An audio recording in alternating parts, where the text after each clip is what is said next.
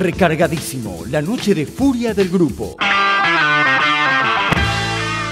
El fallo de la Corte fue festejado por miles de personas, muchos de los cuales fueron al Congreso de forma espontánea, más allá de las agrupaciones partidarias. A continuación van a ver un informe de Telenoche. Presten atención al tono del mismo, empezando por la forma en que se refieren al titular del AFCA, Martín Sabatella. El gobierno y los militantes siguen festejando el fallo de la Corte. Anoche hubo un acto frente al Congreso que fue convocado por el propio titular del AFSCA, Martín Sabatella, que después se acercó al lugar y festejó junto a las agrupaciones kirchneristas. Apareció el maestro de ceremonias, Martín Sabatella, titular del AFCA, el ente que en teoría tiene que velar por la imparcialidad y la pluralidad de voces en los medios de comunicación. Pero el hombre se parecía más al Rafa Diceo en un para-avalanchas. Se parecía más al Rafa Diceo en un para-avalanchas. Que a un juez recoleto y equidistante. ¡Viva Venezuela!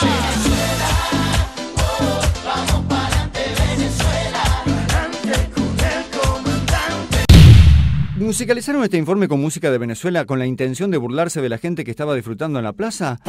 Uy, con esto de asociar a Venezuela con algo malo, convencieron a una. ¿Qué opina de la ley de medios? Me parece que es una ley muy peligrosa. Yo soy de Clarín, no tengo absolutamente nada que ver, prácticamente no conozco a nadie. Conozco a su propietaria. ¿Lo ve parecido a lo que ha pasado en otros países con eh, los medios de comunicación? Sí, a Venezuela, por ejemplo.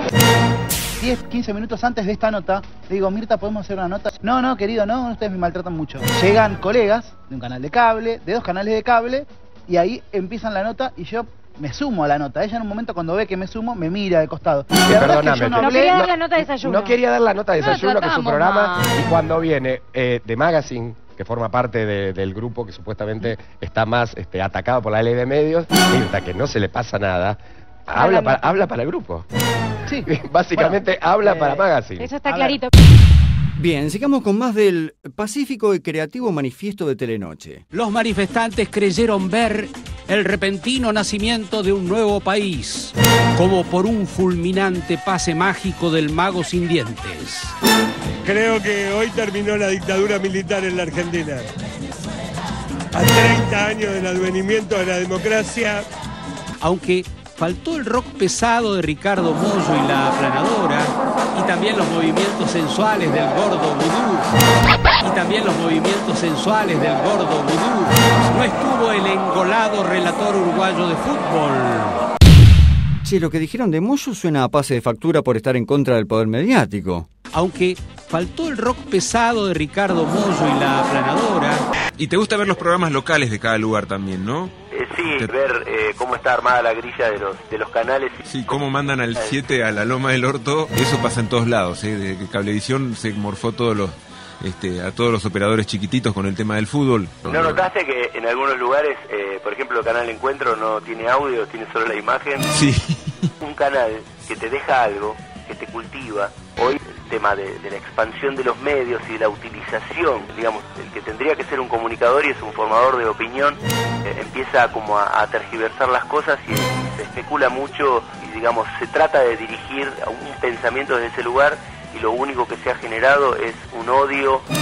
Hay programas eh, para mí que genera mucho odio, que es el programa de la nata. Para terminar, veamos la última parte del informe del grupo Clarín. Hablando en serio, ¿qué se puede decir sobre tanta... ira? al evento popularmente se lo conoció como el cachetazo del pueblo a Clarín. Tal vez olvidando que el verdadero combate había sido el domingo y ahí sí que cobraron de lo lindo Y ahí sí que cobraron de lo lindo. como un boxeador que quedó fuera de combate y al que solo le espera el retiro. Y al que solo le espera el retiro. Fue como una gran victoria peleando contra una sombra. Pero resulta que abrís la puerta del gimnasio y la realidad te pega una piña en la cara. Hay, hay como una división irreconciliable en la Argentina y a esa división yo la llamo la grieta. Y yo realmente creo que la grieta es lo peor que nos pasa. Es lo peor que nos pasa. Antes había más gente que yo saludaba acá. Ahora hay menos. se parecía más al Rafa Diceo en un para avalanchas. Y ahí sí que cobraron de lo lindo y también los movimientos sensuales del gordo